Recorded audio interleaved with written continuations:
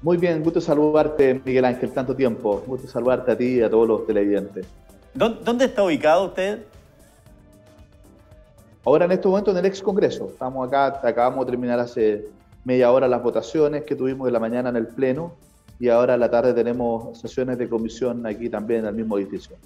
Perdón que le haga esta pregunta porque la verdad, en este mes de trabajo ustedes que han... Eh, ha, habido la sensación de que no tienen lugares para trabajar, incluso no tenían comida, dijo eh, la propia presidenta. Han bajado de peso los constituyentes. ¿Es verdad eso? ¿Qué pasa? No sé, por lo menos en mi caso no ha bajado de peso.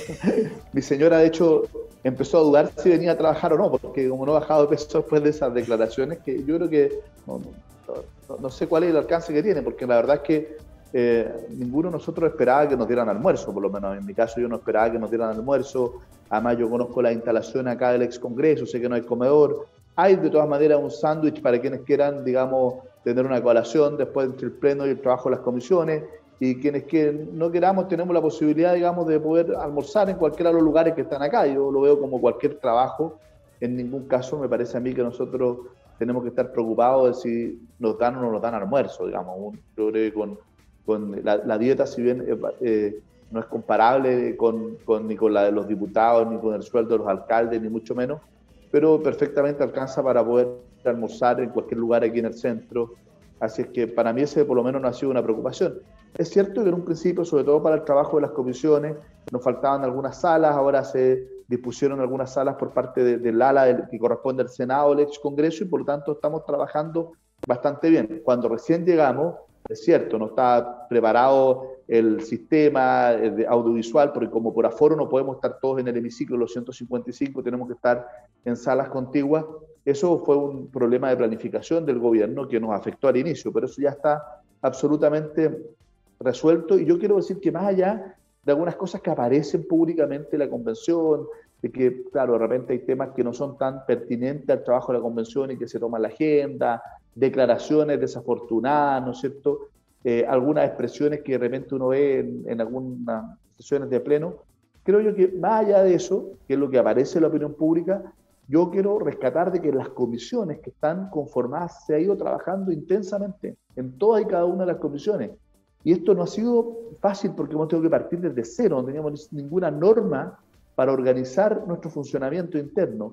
Y por lo tanto creo que el poder trabajar, dotarnos de las normas mínimas y empezar a avanzar, en, en un mes creo que hemos tenido avances muy significativos y yo soy moderadamente optimista de que podamos sacar esto dentro de los plazos establecidos y creo que también el propio ambiente, claro, hay algunas voces más eh, confrontacionales, que son las que más aparecen, más polarizantes, pero creo que la inmensa mayoría tiene un ánimo de lograr acuerdo y de avanzar.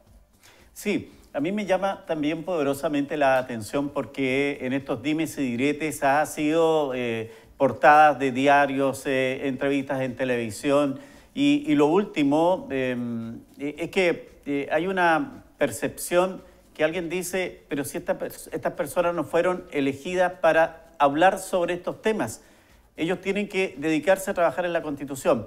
Pero también han lamentado acá en la Araucanía que la presidenta de la de, esta convención constituyente eh, tenga esta mirada respecto al tema de la violencia. Lo último, entiendo que ella dijo que no era Mandela para decir que bajen las armas. Eh, entonces, como que hay un, hay un discurso ahí que no, que no entiende la población en general.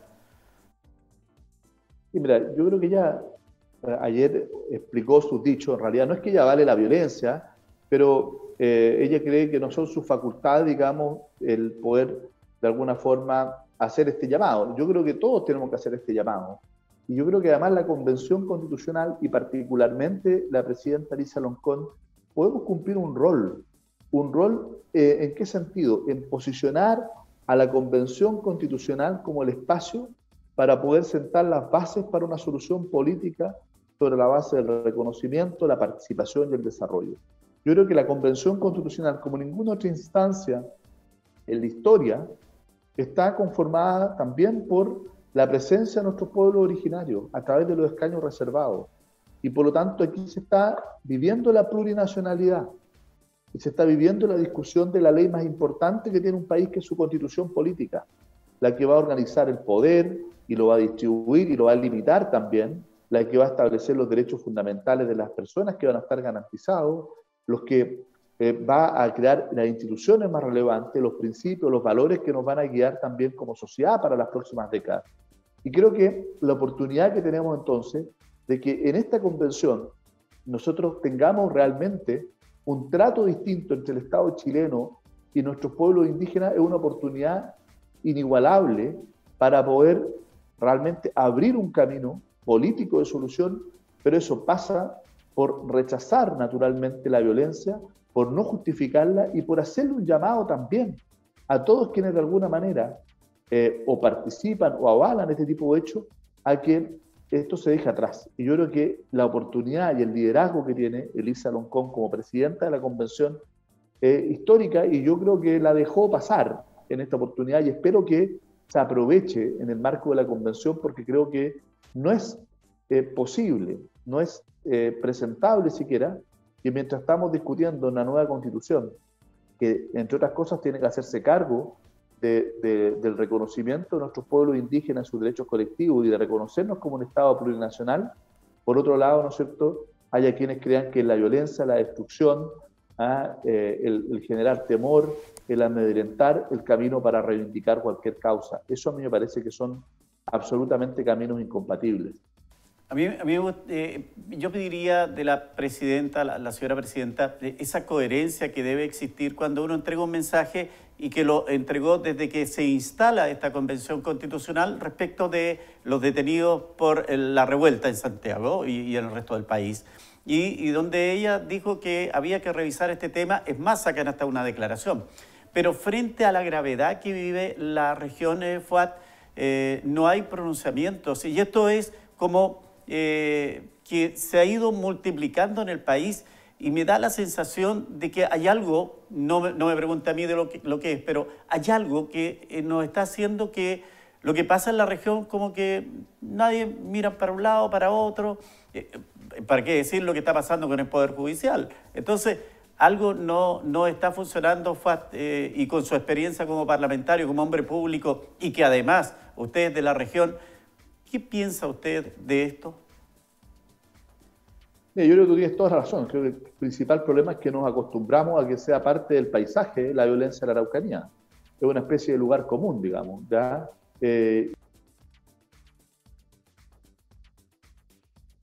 algo, algo pasó ahí. Perdón. Ahora sí. Entró una llamada. Ya. Cuando uno se hace insensible a la violencia y a los efectos que esto genera, bueno, lo que ocurre es que esta empieza a cambiar cuando se actúa sobre la base de la impunidad, de la indolencia, de, de como eh, prácticamente asumir esto como, como, parte de nuestra realidad cotidiana, como, como si no tuviéramos la, no solo la necesidad, sino que la obligación de cambiarlo. Y, yo creo que eso es uno de los grandes problemas que tenemos. ¿ah? Y, y, creo que es uno de los grandes problemas porque en Santiago solo cuando existen hechos demasiado críticos ya, porque ya ni siquiera son hechos críticos, demasiado críticos, se pone la mirada transitoriamente en nuestra región como para poder salir del paso y luego nos olvidamos completamente de lo que ocurre. Y yo, eh, sinceramente, creo que eh, eh, eso está condenando a la región de la Araucanía y a la macrozona sur, digamos, donde se generan estos hechos, a la inviabilidad. No es posible generar bienestar, desarrollo, si no hay paz social. ¿ah?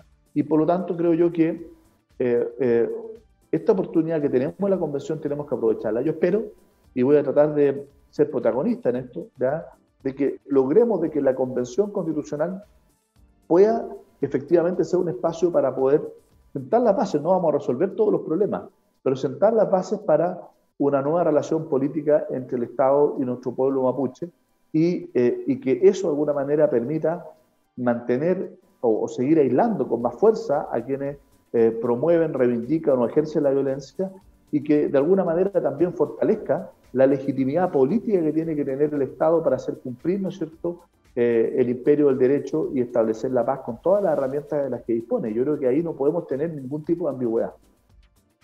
Sí, yo no sé qué más debería pasar en la región. Tenemos una presencia de narcotráfico y eso está quedando en evidencia cada vez que se ingresa a algún sector de la Araucanía y se encuentran con armas eh, de grueso calibre, con armas de guerra. Hemos tenido uno de los eh, hechos eh, de violencia más más grande como es el secuestro y muerte y descuartizamiento de una persona. Eh, y para qué decirle, las imágenes que tenemos de archivo parecen una verdadera película de, de las peores de la guerra.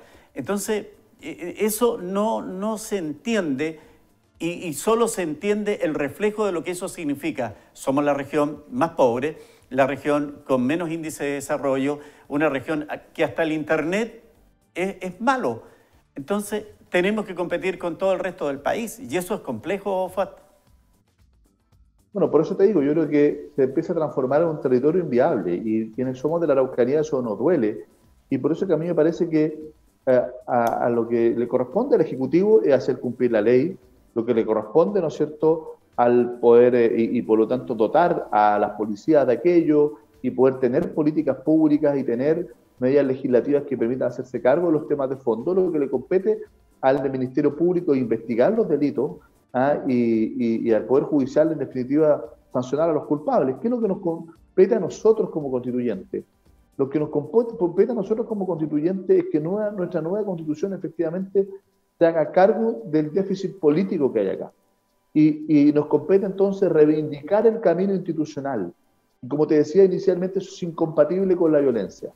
Cuando tú tienes un camino institucional para poder canalizar efectivamente las demandas políticas, entonces eh, lo que tú tienes que hacer es enfrentar con mucha fuerza a quienes ejercen la violencia. Y yo creo que, desde ese punto de vista, eh, lo que debió haber hecho la presidenta de la convención, a mi juicio, era tener una posición mucho más clara sobre la materia. Creo que se equivocó, desaprovechó esta oportunidad, ya espero tener la posibilidad de conversarlo personalmente con ella. Y, yo creo que desde la convención, como te digo, tenemos no solo la oportunidad, sino que a mi juicio la obligación de tratar de formar parte de la solución y no solo ser comentaristas de lo que ocurre en, nuestra región. Bueno, eh, es lo que yo creo todo, todo el país espera. Eh, Eliel, Eliel Alex González. Saludos a Don Fat, dice, muy pertinente su visión para mejorar la situación de violencia en la Araucanía. Desde Teodoro Schmidt. Malquisey dice, eh, Elisa Loncón perfectamente podría ser destituida de su cargo a través de una acusación constitucional. Me parece pésimo la postura del Partido Comunista. Son parte de los comentarios que nos dejan. Fuat, eh, gracias por este contacto, no le quito más tiempo. Y lo último, eh, usted comparte con el secretario de la convención el hecho que ya en septiembre comenzaría a verse parte ya de lo que es o que lo, para dónde se va a delinear la nueva constitución.